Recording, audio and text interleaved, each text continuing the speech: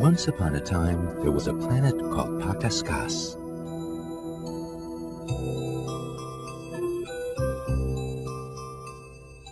The mountains were made of jelly, but of course no one could climb them because they were so slippery. The houses were made of bread. There were cheese bun houses, loaf bread houses. There were even donut houses and houses made of butter cakes. Pakaskas was a really tasty planet.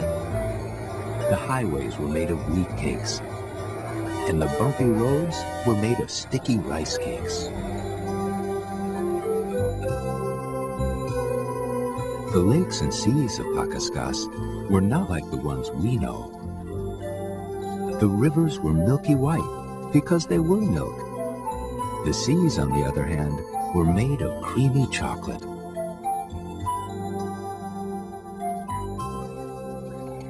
The place where the milk and chocolate met was a heavenly place to drink.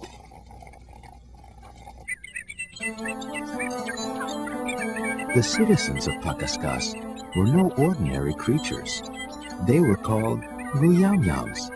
Naturally, they were fond of eating as food was all around them. They wouldn't stop eating. Day in and day out, the Nguyamyams did nothing but eat and eat.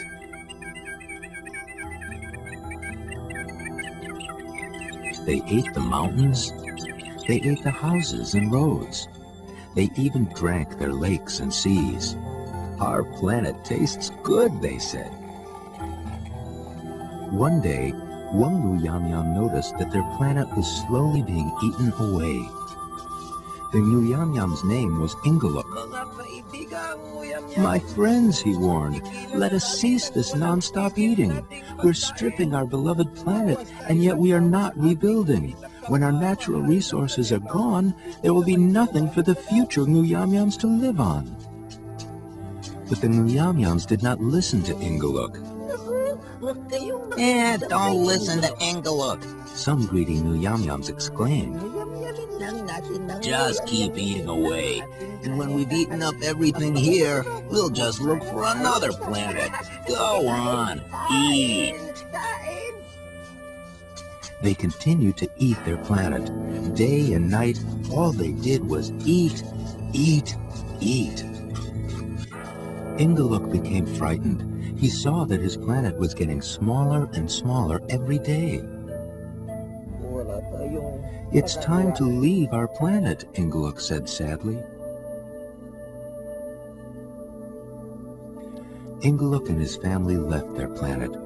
They rode in a coconut spaceship and traveled far into space.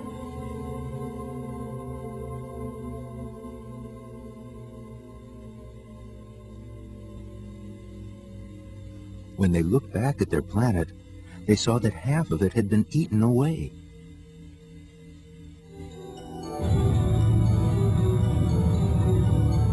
Finally, Ingaluk and his family reached a new planet.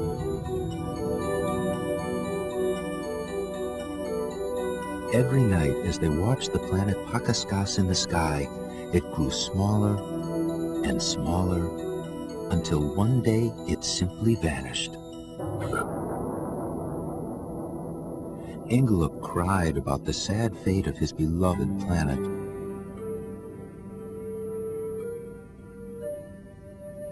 Ingaluk thought long and hard about their newfound planet. He told his family, This new planet we have found must not perish like planet Pakaskas. And he promised, This planet is our home. We will all take very good care of it.